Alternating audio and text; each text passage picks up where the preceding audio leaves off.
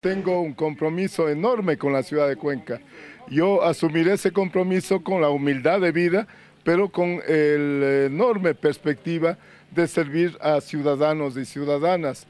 En ese contexto, evidentemente, yo mantendré las mejores relaciones con el presidente de la República, pero en un marco de respeto a los intereses de nuestra querida ciudad de Cuenca. Evidentemente yo represento a los cuencanos y cuencanas y en ese ámbito eh, pues será mi accionar. Eh, yo tomaré las obras que sean buenas para la ciudad, innovaré, mejoraré las que tenga que mejorar. Por ejemplo, el tranvía. Mire, eh, habrá que auditar, habrá que dar los pasos inmediatos, a ver, pues conocer exactamente los contratos y los alcances de esa obra, porque ni los señores concejales de lo que yo conozco conocían exactamente sobre sus eh, particularidades, de tal manera que eh, pues nosotros al conocer los detalles tomaremos las acciones y para ello me rodearé de los mejores técnicos locales y nacionales porque es una obra que ya está eh, suscrito su contrato y dado el anticipo correspondiente. Trabajaré en forma técnica,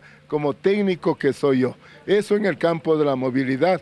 En el campo de la seguridad, yo he dicho, vamos a constituir el Observatorio Ciudadano de Seguridad y Criminología.